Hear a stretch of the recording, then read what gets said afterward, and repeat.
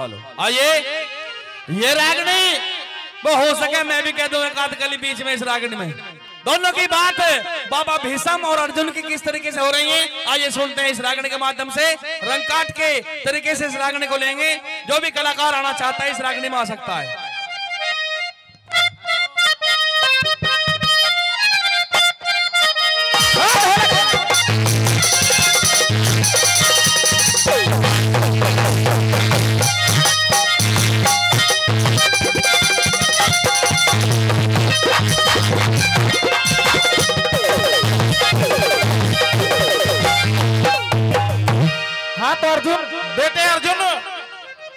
अच्छा। बेटे अर्जुन कहिए पितामह अगर तुम्हें अपनी जान प्यारी है तो आज इस रण क्षेत्र से भाग जा। दादा आज ये अर्जुन इस रण क्षेत्र से भागने के लिए नहीं आया है अच्छा। बल्कि युद्ध करने के लिए आया है। और डट करके युद्ध करेगा। युद्ध करने के लिए आया है। हाँ बिल्कुल। और भीषम के सामने। बिल्कुल। बेटे शायद तुझे पता नहीं है। इस भीषम को तो इच्छा मृत्यु का वरदान है। मुझे तरस आता है बेटे। मैं समझा रहा हूँ भाग जा। दादा आज मैं आपसे निवेदन कर रहा हूँ आप मेरे सामने से हट जाइए। अच्छा। वरना आपको आज जो है मृत्यु लोक में पहुँचाने का कार्य मेरे हाथों से हो जाएगा। बहुत अच्छे। मैं जानता हूँ बेटे। अच्छा। शायद तुझे पता नहीं है कि मैं तो हस्तनापुर से बंधा हुआ हूँ। मैं इस रणभूमि को छोड़कर नहीं जा सकता। दादा आप हस्तनापुर से बधे हुए हो। बिल्कुल। लेकिन आपकी आँखों के सामने हमारी बहू को नंगा किया गया। हाँ। मेरे अभिमन्यु को। अच्छा। कई कई सारथियों ने मिलकर के मार दिया। यही तो आपका न्याय था। न्याय नहीं था। मैं भी उसके विरुद्ध था। बेटे उस समय मजबूर था लेकिन मैं हस्तनापुर मैंने तुम्हें बता दिया हस्तनापुर से बंधा हुआ हूँ। तो दादा आज ये अर्जुन रण क्षेत्र से वापस नहीं जाएगा। मेरी बात सुन ले। सुनाइए।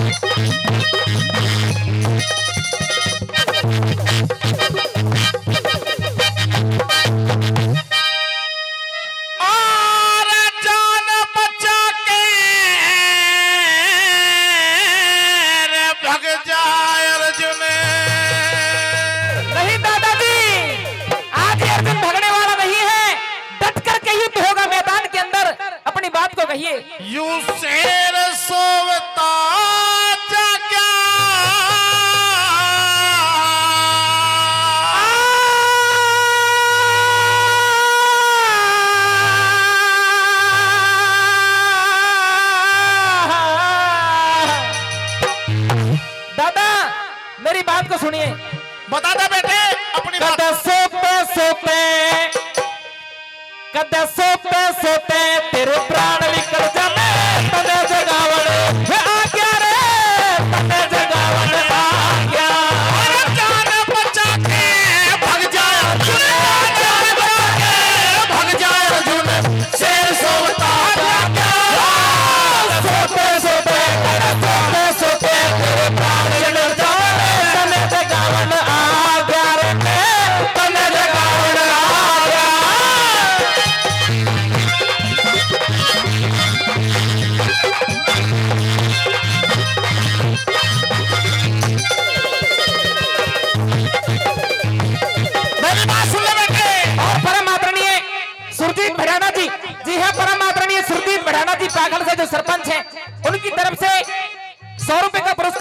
इस पर खुश होकर उनके लिए बार बार धन्यवाद करते हैं। कहिए, दादा, क्या कहना चाह रहे हो?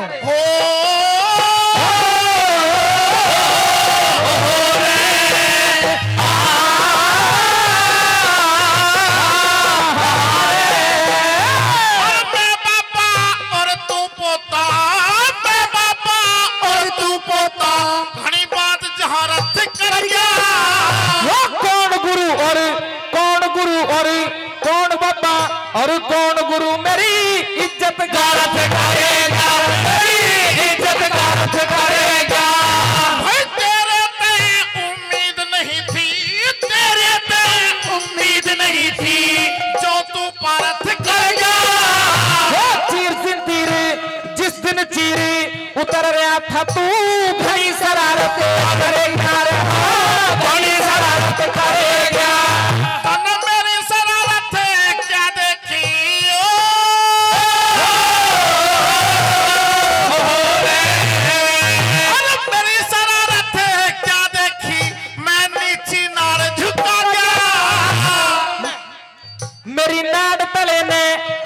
तले ने देख करी बुरी।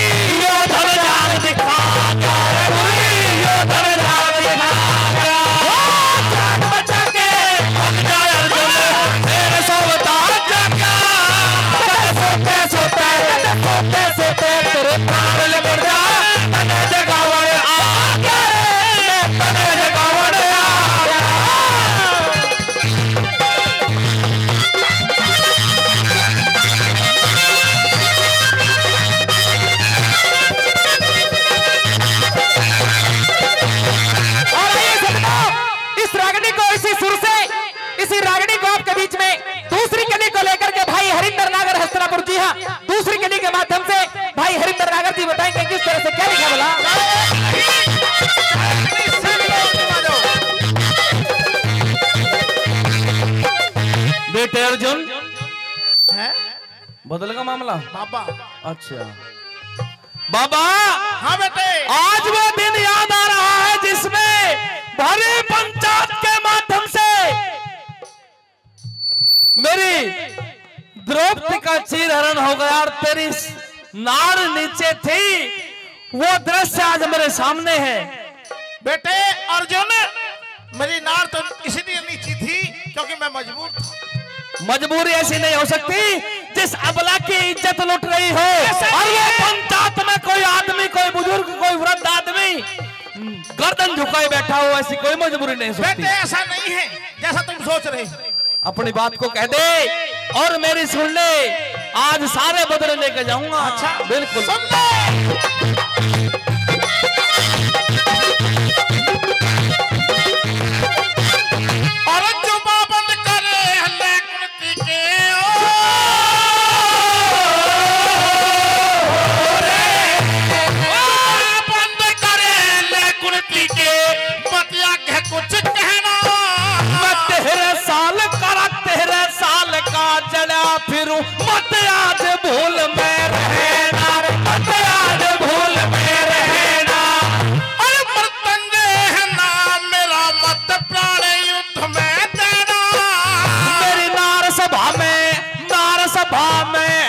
में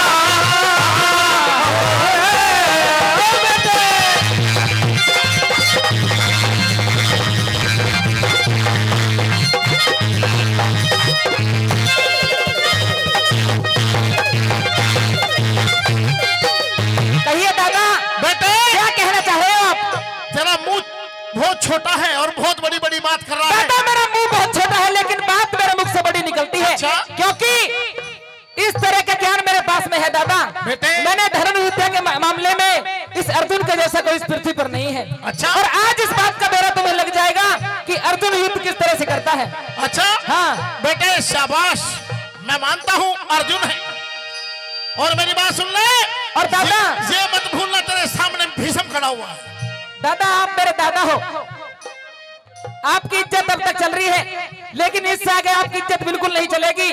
मैं फिर से आपको समझा रहा हूँ आप इस युद्ध से चले जाइए। मेरी बात सुन ले। सुनाइएगा।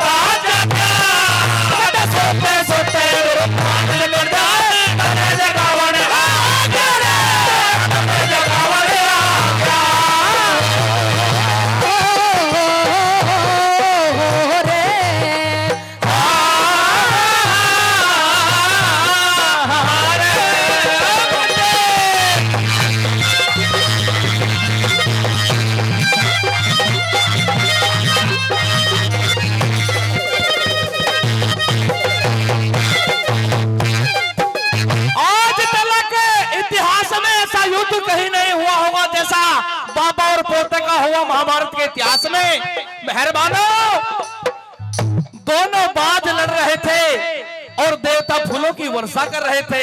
मेहरबानों दोनों के तीर दोनों के बाण वाला किस तरीके से चल रहे थे? लास्ट कड़ी के माध्यम से दादा गुरु पीर जी ने बोला क्या लिख दिया? कैसे?